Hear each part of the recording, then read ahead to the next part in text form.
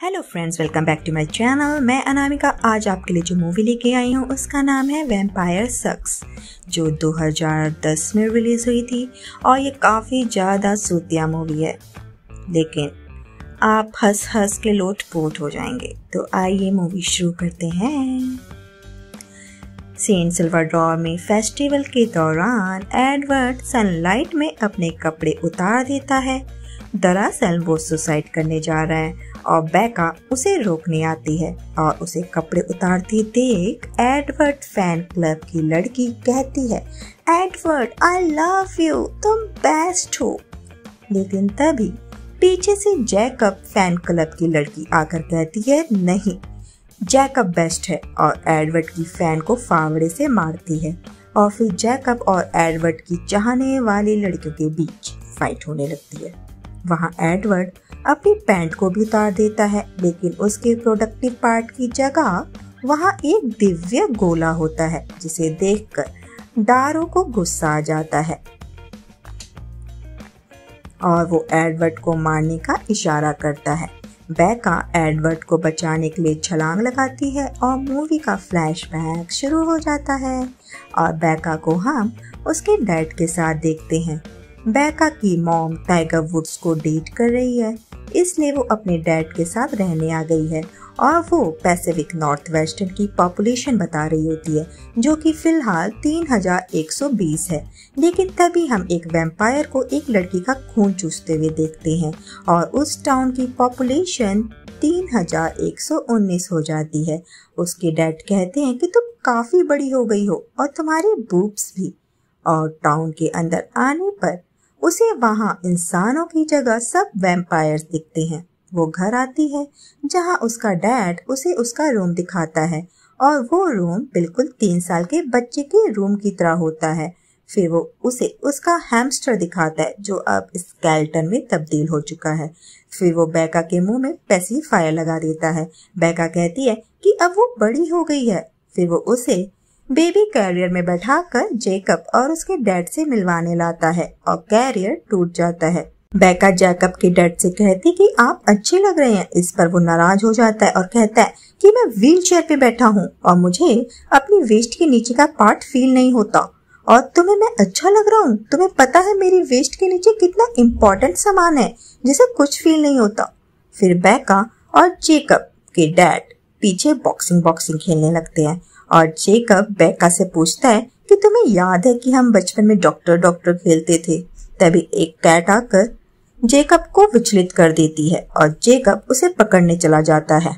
वहाँ बेका high school आ जाती है, जहाँ सारी लड़कियाँ उसका मज़ाक उड़ाने लगती हैं और उसके ऊपर अंडे फेंकती हैं। और सब उसे मारने लगते हैं और डेक नाम का लड़का उसे मुक्का मारता है और तभी वहाँ रिक आता है और बैका से प्रॉम पर चलने के लिए पूछता है। लेकिन तभी पीछे से एक लड़की आती है, एंजलिका, जो खुद को प्रॉम क्वीन कहती है और बैका को धमकी देती है कि अगर उसने रिक को टच भी किया तो वो उसके टुकड़े टुकड़े कर देगी। वहाँ कुछ लड़के और लड़कियाँ आते हैं जिन्हें बाकी स्टूडेंट सोलन फैमिली कहते हैं। वो सब एक दूसरे को किस करने लगते हैं और एंजलिका कहती है कि शायद ये सब कैनेडियन है। फिर बैका एंजलिका से पूछती है कि वो कौन है? एंजलिका लड़के को देखकर उनका नाम बताने लगती है। बैका कहती है, वो जर्सी वाले मुस्टंडे नहीं, वो जो उनके पीछे पीला सा लड़का है। एंजलिका कहती है कि उसका नाम एडवर्ड है, लेकिन मुझे उसमें ज़्यादा इंटरेस्ट नहीं है। मुझे जॉन पसंद है। फिर बैका एडवर्ड की फेसबुक को चेक करती है और फिर वो एडवर्ड और बैका एक दूसरे को देखने लगते हैं। बैका क्लासरूम में एंटर करती है और एडवर्ड भी वहाँ होता है। बैका फ़ैन के आगे खड़ी हो जाती है, जिसकी वजह से उसकी शरीर की बदबू एडवर्ड की नाक को छलनी कर देती है। और उस पर से टीचर बैका को एडवर्ड के बगल में बैठने को कहता है और एडवर्ड बदबू की वजह से अपना मुँह कवर कर लेता है। और फिर दोनों बातें करने लगते हैं और फिर टीचर वेम्पायर डायरीज की बुक निकाल कर पढ़ाने लगता है। बैका एडवर्ड से पूछती है कि बायोलॉजी की क्लास में ये सूतिया हमें वेम्पायर डायरीज क्यों पढ़ा रहा है? इस पर एडवर्ड गुस्सा हो जाता है और बताता है कि 80s में कोक और 90s में ग्रंच और अब ये इरा वेम्पायर्स का है और ये सुपर ट्रेंडी है। और फिर एडवर्ड के बैग से एप्पल, आयरन बॉल और एक बच्चा निकलता है और एडवर्ड उन्हें सर्कस की बॉल्स की तरह उछालने लगता है और सबको फिर से बैग में डाल देता है और आयरन बॉल बच्चे के ऊपर गिर जाती है, जिसकी वजह से वो रोने लगता है और अगले सीन में वेम्पायर फिशरमैन को मारने आते हैं। लेकिन वो उन्हें चिटोश चिप्स देकर पटाने की कोशिश करता है। चिप्स खाकर उन्हें याद आता है कि वह तो उस आदमी को मारने के लिए आए थे। फिर वो उससे पूछते हैं कि तुम जानते हो कि हम कौन हैं? वो आदमी कहता है कि तुम ब्लैक आइड पीस। हो इस पर व्हाइट वेम्पायर पूछता है कि सबको ऐसा क्यों लगता है कि हम ब्लैक आइड पीस हैं? और फिर वो फिशरमैन को मार डालते हैं। वहाँ बैका एडवर्ड को देख रही होती है और तभी एक ट्रक आकर बैका को हिट करने ही वाला था कि एडवर्ड आकर उसे बचा लेता है और वो डेक से उस ट्रक को रोकता है और घर पहुंचकर जैकब, बैका को प्रपोज करता है और उसके लिए गिफ्ट और बलून्स लेकर आया है। लेकिन बैका जेकब से कहती है कि वो उसके लिए एक गे ब्रदर की तरह है। उससे ज़्यादा वो कुछ नहीं है और उसके दिए बलून्स को उड़ाकर फ्लावर्स को फेंक देती है। इस पर जेकब कहता है कि मैंने सुना है कि तुम आजकल एडवर्ड के साथ घूम रही हो, उससे दूर रहो। जैकब के जान के बाद डैड का को पेपर स्प्रे देता है उसकी प्रोटेक्शन के लिए और फिर उसे ट्रेनिंग देने लगता है और कहता है, दिखाओ किलर से कैसे बचोगी? बैका डैड के ऊपर स्प्रे कर देती है। डैड की आँखें जलने लगती है। फिर वो कहता है कि ये स्प्रे थोड़ी देर के लिए काम करेगा। तुम्हें किलर के उस जगह अटैक करना है जहाँ से वो सांस लेता है। बैका अपने डैड के प्रोडक्टिव पार्ट पर लात मार देती है। इस पर उसका डैड फिर से कहता है कि, किलर, अभी तुम्हारे पीछे बढ़ रहा है। उसकी मूछे निकाल दो। बैका अपनी डैड की मूछे निकाल देती है। एडवर्ड बैका के बेडरूम में आता है, वो सो रही है। वो उससे कहता है कि, तुम्हारी सांसों की आवाज़ मेरे लिए सबसे बड़ा गिफ्ट है। तभी बैका पाद मार देती है और एडवर्ड की नाक के बाल जल जाते हैं।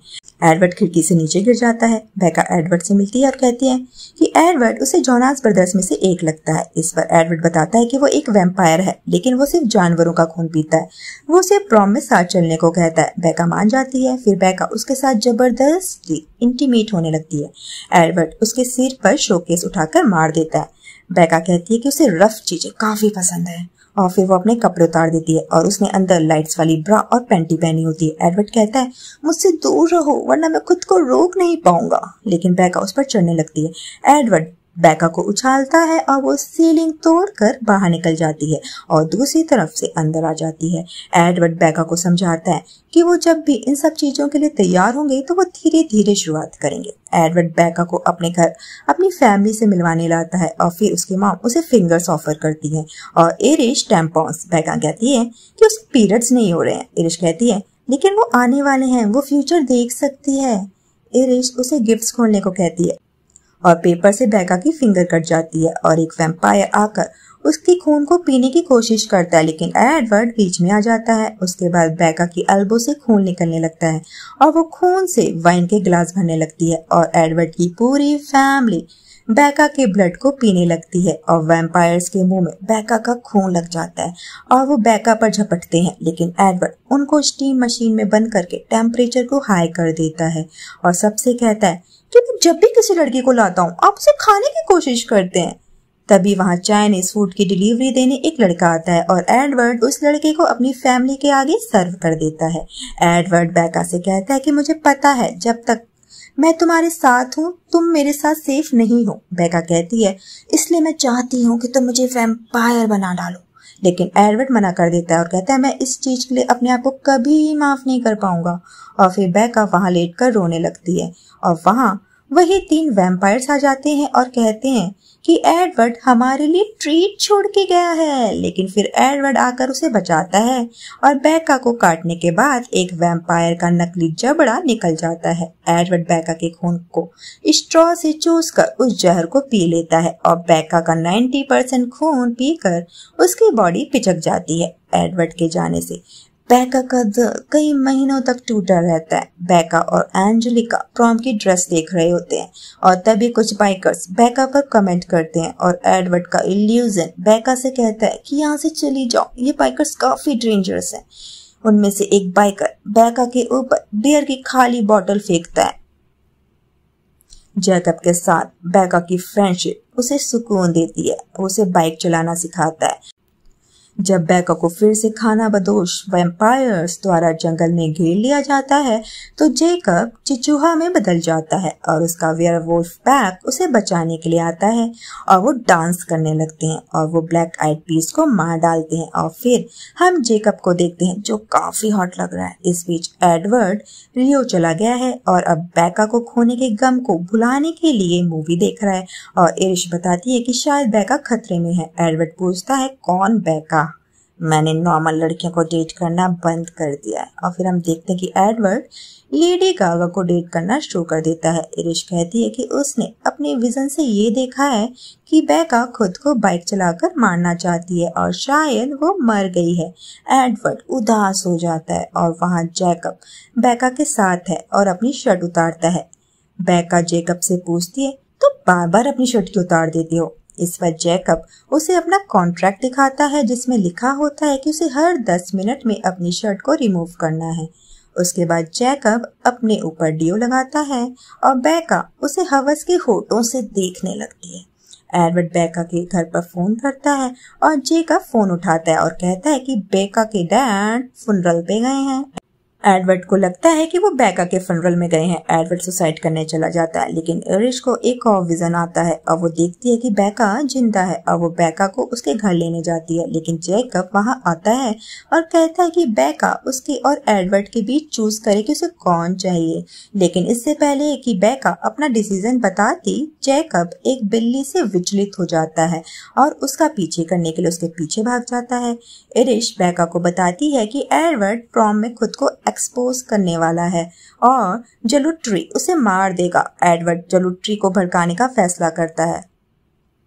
और एक शक्तिशाली और मादक वैम्पायर इंसानों के सामने सूरज की रोशनी में खुद को उजागर करके उसे मारने के लिए वैम्पायर्स को कहता है। टॉम पर पहुँचने पर बैका एडवर्ड फैनगल्स और जैकब फैनगल्स के बीच में फंस जाती है। उसके बाद एक अमावस्या और एक ग्रहण होता है। बैका एडवर्ड के पास आती है और फिर वो दोनों इमोशनल हो जाते हैं और पीछे से जटूरी एडवर्ड को उठा लेता है। बैका कहती है, उसे छोड़ दो, हमने अभी तक एक दूसरे के साथ खपा खप भी नहीं किया है। फिर बैका के डैड बैका के पास आते हैं और बैका डांस करने लगती है और बताती है कि शहर में जितने भी खून हो रहे हैं, वो वेम्पायर्स कर रहे हैं। लेकिन डैड को लगता है कि वो प्रॉम की थीम के बारे में बात कर रही है। वहाँ prom king and queen announce होते हैं और जटूरी और उसकी गर्लफ्रेंड जीत जाते हैं। जलोट्री हेड डारो के बीच लड़ाई के बाद एडवर्ड को पैका को एक वैम्पायर में बदलने के लिए मजबूर किया जाता है, वरना वो बुरी तरह से मारा जाएगा। वो ऐसा करने के लिए केवल इस शर्त पर सहमत होता है कि वो उसे शादी करेगी, जिसे वो शिकार भी कर लेती है। और मिड क्रेडिट सीन में एडवर्ड के सिर पर जैकब की फ़ैन गर्ल्स हमला करती हैं। एडवर्ड बच जाता है और मूवी के अंत में लड़की पर वैम्पायर बन चुकी बैका द्वारा हमला किया जाता है। और इसी के साथ ये सूतिया मूवी यहीं पर समाप्त हो जाती है।